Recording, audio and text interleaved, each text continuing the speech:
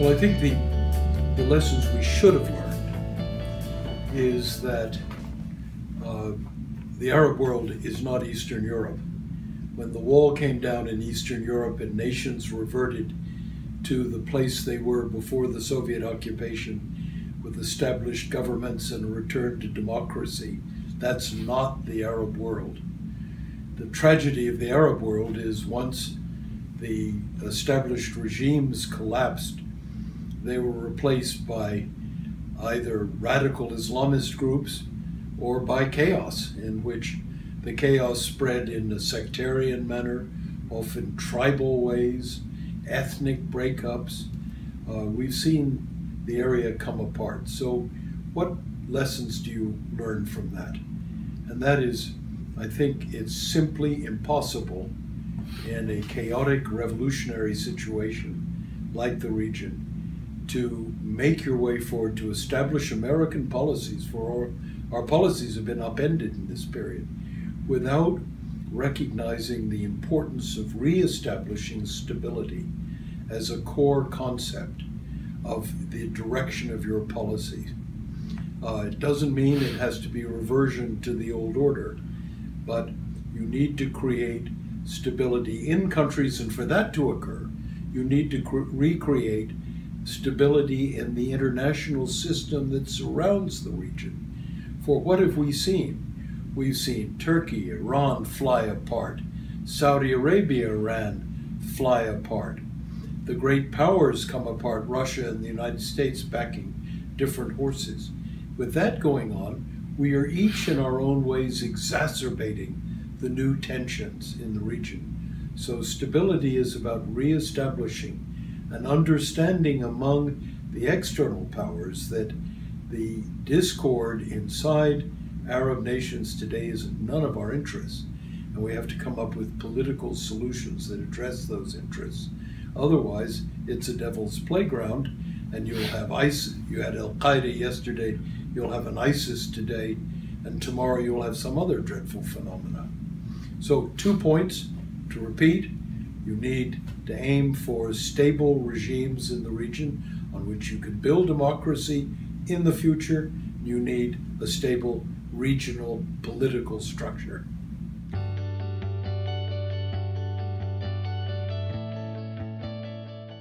I think I would like you to start the analysis by reflecting on who we are. Uh, because I think there's a terrible habit in this country to assume there are solutions that, quote, American leadership can bring to the table and solve problems. The Middle East is not about solving problems. You're not going to get there. And it's not about American leadership. It's about your capacity to articulate a vision and bring together coalitions inside the region uh, aimed at common objectives that means we have to be active, but we are wrong to put ourselves, quote unquote, in a leadership position because no one else is going to want to follow. They're all going to want to make sure their interests are protected.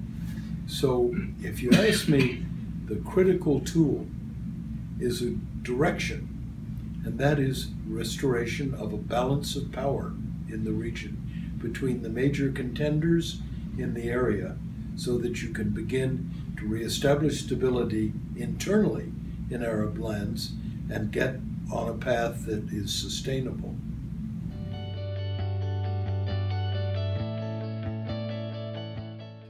Be very careful. Uh, 11 million probably understates the real problem, because you're talking principally about Syria.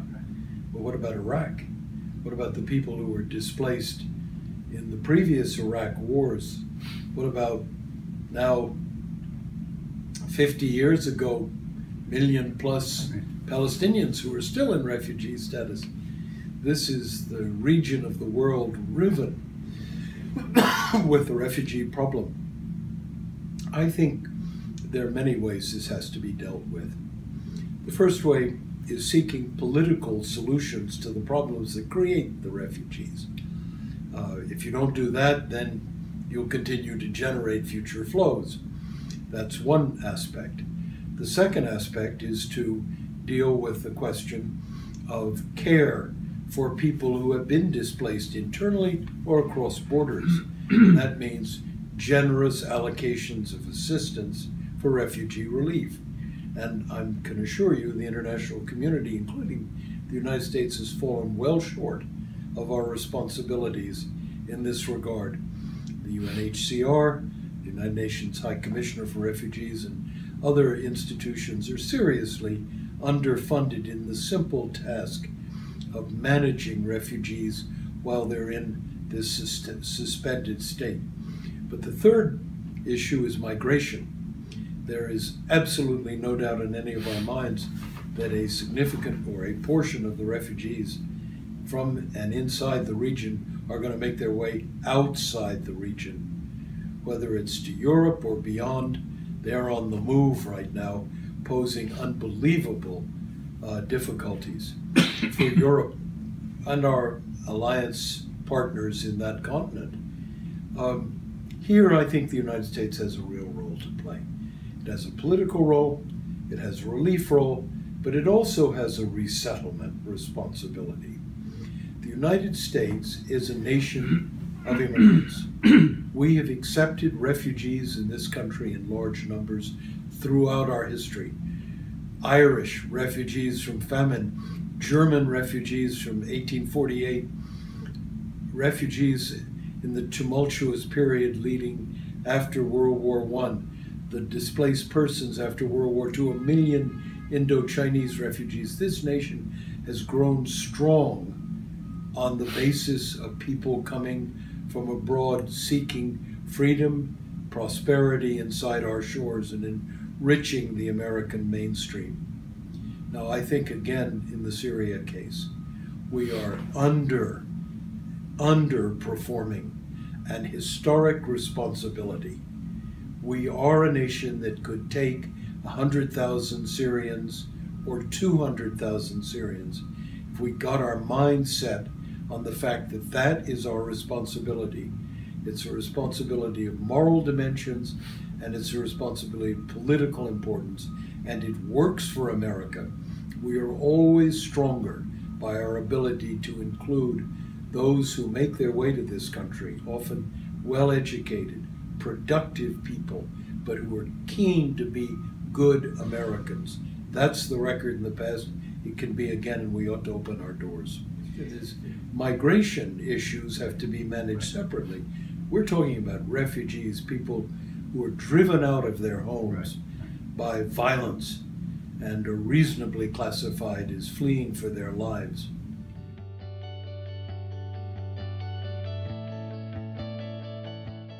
That we have lost the lead and we've found ourselves outpaced by the Russians. Um, we ought to be designing the political package for Syria, not waiting for Russia to create facts on the ground. Now, what is that outcome that you have to have? I think all of us ought to recognize that Syria is not going to be settled militarily. And I can assure you the Russians know that. The Iranians know that. Assad knows that.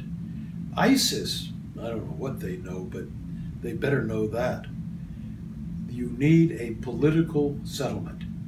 Now that means you've got to get an agreement between the external parties who are playing inside the Syrian equation and among Syrians themselves.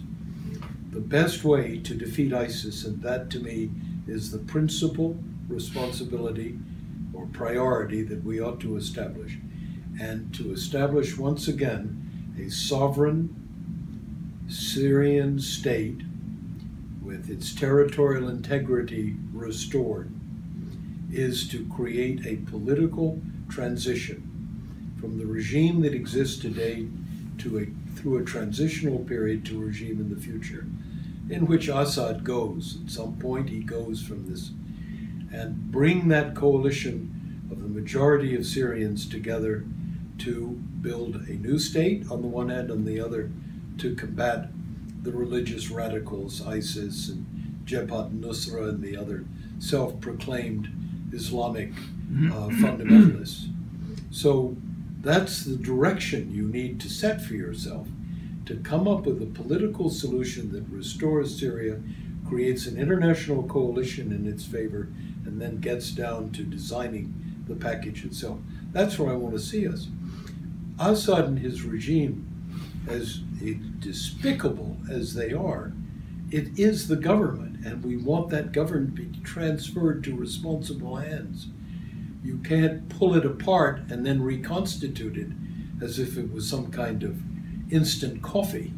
You need to have a structure in place. Therefore, when the Russians come in, the Iranians come in and bolster a declining regime, it's not to win the war, but it's to create the conditions in which there will be a structural element in something better if the diplomacy is put into gear and if it shapes the kind of conclusion I've tried to outline.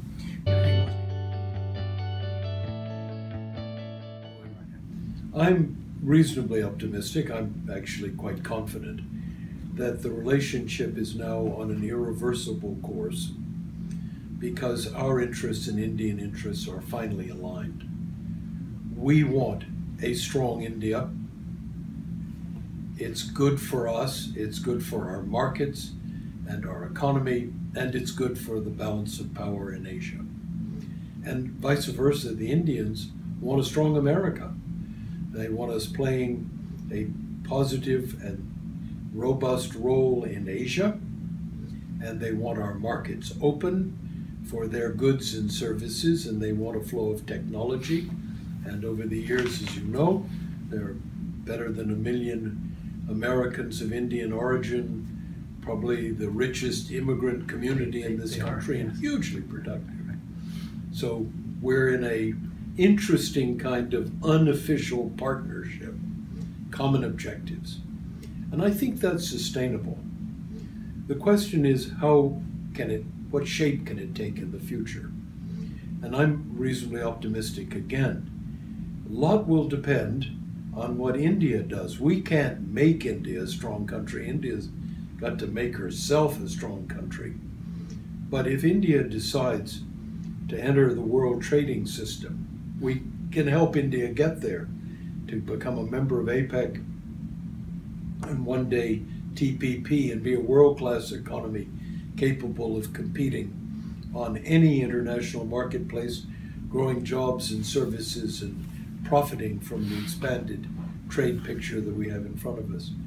We can help strengthen India's security and economic and military potential with technology transfers, military exercises, intelligence exchanges, all of those things happen. India, at the same time, is a very important factor in maintaining that Asian balance so that China doesn't look at Asia as a series of nations that have to stand on their knees to respect Chinese power, but have their own sovereign interests to stand by, and are friends of the United States so that you keep keep the Asian world in balance, not with the dominant and subordinate players, which is an Asia we'll be comfortable with. So India can play all of those roles and the relationship can. I'm optimistic about it, but I'm also highly sensitive to all the difficulties of getting there. Uh, India is a big, fractious democracy. Elections take place virtually every year. Uh, prime ministerial elections take place in the four year cycles. But you end up with a country that is intensely politicized, mm-hmm. and getting decisions in India is incremental. It's not strategic, um, and those things that we want to have happen don't mm-hmm. happen immediately because politics play their part. But then, if there's a country that will understand that imperative, it's the United States. Difference that I think we now have a stable relationship on the nuclear front with India, where we could not have any relationship until we got the nuclear issue settled. It would have always upset our ability to cooperate with India. Now, why can we have a stable relationship? Basically, because we can trust India. her record of nuclear responsibility is extremely clear. In addition, she's undertaken to act within global norms for the export and management of the trade in nuclear items. Yes. She's joined the international understanding, wants to join more. And we, it's in our interest to make sure she gets inside of international arrangements that manage nuclear trade, missiles, and issues that can destabilize the defense front. So I think we have a real partner in India. What has proved difficult is one serious issue, and that is managing liability in the construction of nuclear power plants. And that's proved to be devilishly complicated. I think we're going to find some way to settle it and begin to see the development of, of nuclear power stations in India. Uh, very important for India's needs. She's suffers from terrible, the scourge of pollution of the atmosphere, needs to lower the carbon emissions in the country. Um, and other countries are playing. We need to play. Um, it'll be in our interest to make sure we get there. I think that's an issue will be settled. But there is nuclear peace, if you will, between the United States and India. And that's what's the core accomplishment of the 2005 agreement.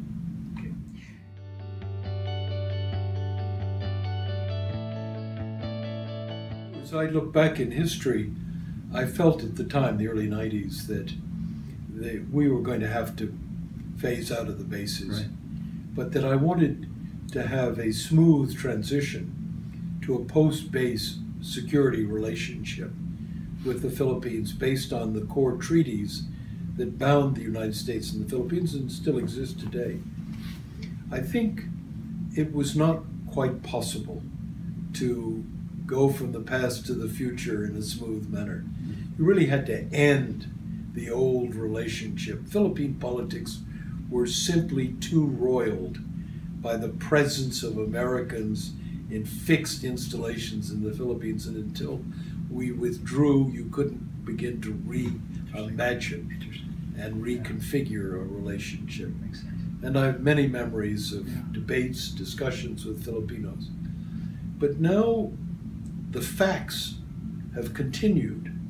China's rise, the power of China's rise, China's reach, China's assertion of a nine, nine dot dash line claim in the South China Sea has confronted the Philippines with the fact that she needs a great power security friend. And she has a treaty relationship, a long range experience with the United States.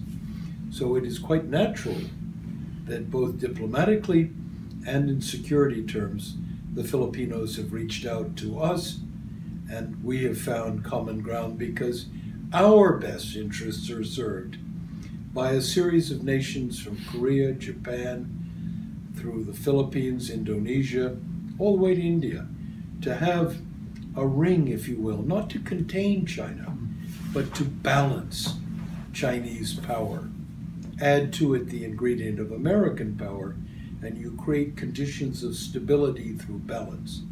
So here the Philippines become a part again of a deeper logic, and I think there's real prospects for a continuing both political and security relationship in the Philippines.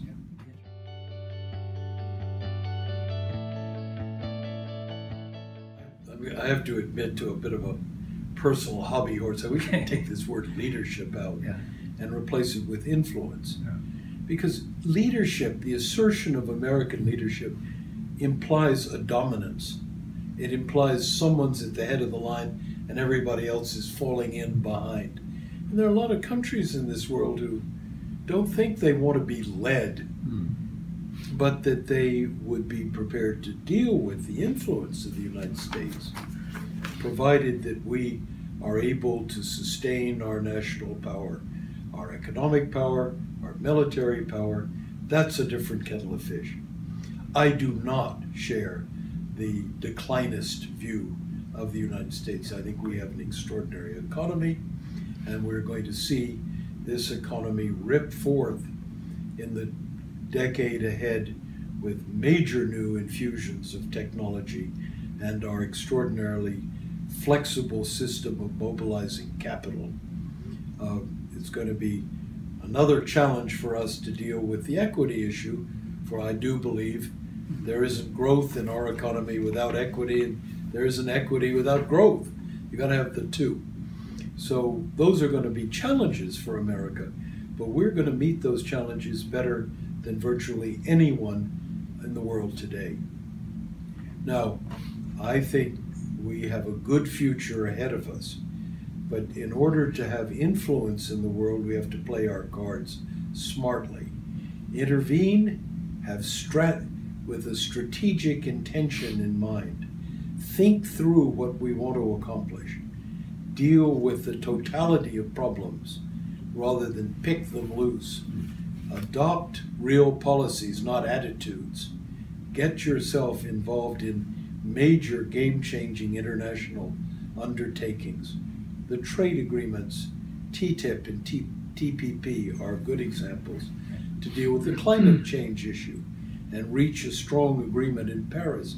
Another area to help um, take our rightful place and encourage others to do what needs to be done by in the field of transnational migration. All of these are issues the United States can play a role in. The United States can play a role in convening uh, to deal with cyber questions as we get deeper into this new age of, information technology, cyber technology.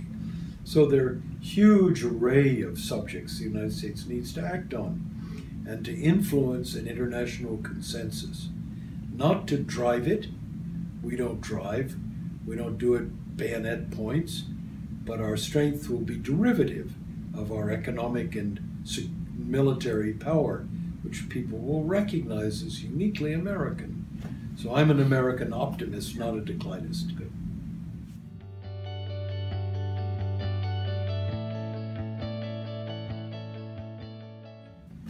Well, there are a variety. And to think that there's one and you can ignore the others is, of course, uh, fool's paradise. The, the there, there are the, the, the, great transnational issues that we have to wrestle with. Um, climate change being a classic transnational issue, and many others that we've mentioned before. But I think inherent in the management of the international system is the question of power and how power is dealt with. National power and the management of national power. We need to have a concept that permits the United States to look at the world as a set of balances in which each nation's interests, particularly the great nations, the Chinas, the Europe's, the Russias, the Japans, ourselves, are taken into account to make certain that you've got a balance between those interests and no threat to security. Uh, if you start there, then I think the most delicate issue, specific issue, is our relationship to the People's Republic of China and how we accommodate ourselves to the rise of Chinese power because China is rising economically, security terms, political terms in its Asian area at the moment, but on the global stage in time to come. How we associate ourselves with a nation whose impulses are very different than ours. How do we deal with? How do we draw red lines? How do we manage this very delicate but extremely powerful phenomena that is today's China and do it respectfully but at the same time firmly?